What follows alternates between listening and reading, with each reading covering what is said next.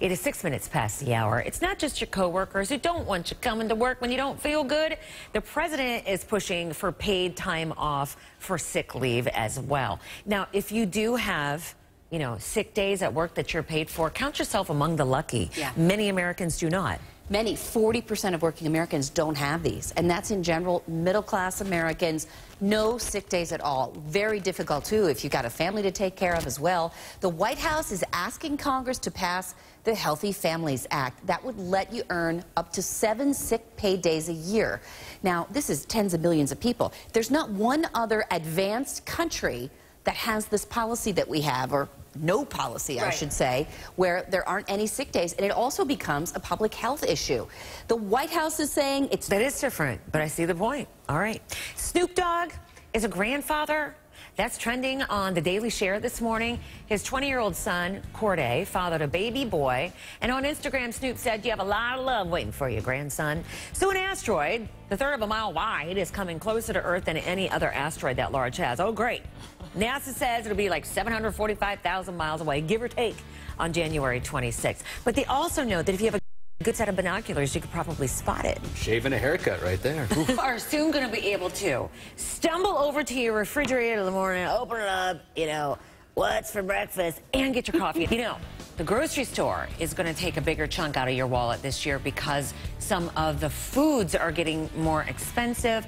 But okay, there's always there's always a big line of why is that more expensive? Because what that person Right. eats is more expensive, and then what that animal eats is more expensive. Exactly. Good morning. Good morning. Yeah. So beef prices were up this year about a dollar a pound. I'm sure you noticed that one. Partly because what they eat got a little bit more expensive. Even things like alfalfa, that's fresh produce.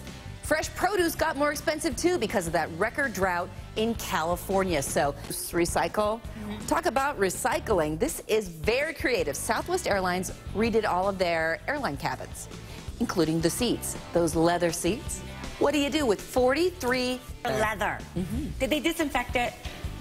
I am sure. I'm just thinking of all those people who sat on it. it's a good idea, though. The guys from um, Big and Rich don't just post their favorite pictures on Twitter. They also turn to the fans on Twitter for help in making a lot of decisions. So I follow you both on Twitter. I know that you do your own tweeting. I don't know that you do. Yeah. yeah, Do you yeah, really? Yeah, I do my own, do my own tweeting. I've been using it to show pictures of my Oh, puppies. Oh, you have German yeah, Shepherds. Yeah, Oh, purebred that's German nice. Shepherds. Amazing. Raised, So sweet. born and raised right there in our home in Nashville, Tennessee, right? They're Yeah. beautiful. You can look them right in the eye. Do I they speak love it. German? They're awesome. Absolutely. They yeah. speak German? Yeah, yeah, yeah. Seats, yeah, seats, plots and blind, baby. Yes, I know. Uh, yeah. I've had German Yeah. Shepherds. Yeah. I know you Um, actually ask people fashion advice.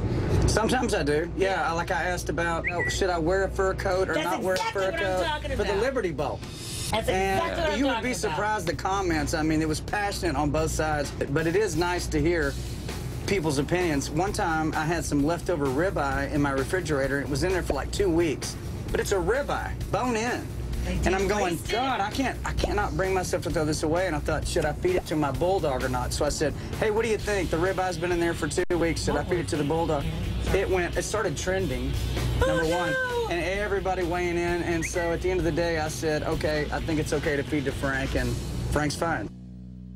Yeah, and part of the reason it was trending is because people were like, "What? Um, it's not good enough for you. It's two weeks old, but it's okay to feed it the dog." And he said, "Yeah, that's part of the reason why it was trending." But he said he did slice off a little piece for himself, and he's fine, and Frank's fine. All right. So if you follow Big and Rich and their dogs, John is at John Rich. Big Kenny is at Big Kenny TV from the country duo Big and Rich. You know, divers have found and photo found a message to a girl's late father, was able to use social media to find. Now, what I like about you two, among many things, is you're football fans. That's right. You know Yeah. football. Yeah. We, we see you perform. Well, we've been Before. doing college game day Yeah. football for eight seasons now. So come into Yo Sit Day every Saturday morning for eight seasons of college football. So, uh, you know that I'm biased for Ohio State, but what do you think as you're not biased? Both of you are not biased toward any team because your True. team's not here. Uh, I think Cowboy Troy said it best. He says it's a David and Goliath moment.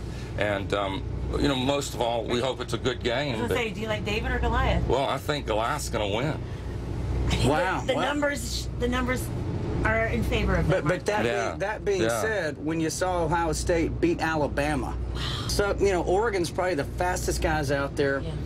That Heisman level of Trophy. speed, yeah, Heisman Trophy. Heisman winning, How uh, fast they call those offensive plays is something else. So Heisman winning quarterback against know. a third string quarterback? I think Or- Oregon's got the edge, tough. but I mean, you just never know. Look who's here, Robin, and the, you never know who's on the Oh, bus. my Cowboy Troy's goodness. back there. It's Troy, come on, Troy. Troy. Come on up.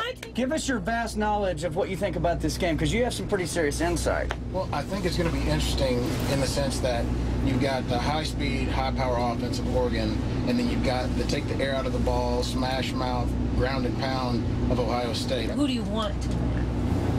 Robin, It Robin, there's no me to see doubt. Ohio State. There's win. no doubt. I mean, Everyone I wants it's a long Ohio State. that they do. I'm Anyone that feels your that. presence. I've got to say, I want to see the underdog come and take the game. Ohio. Oh, gosh. Whoa,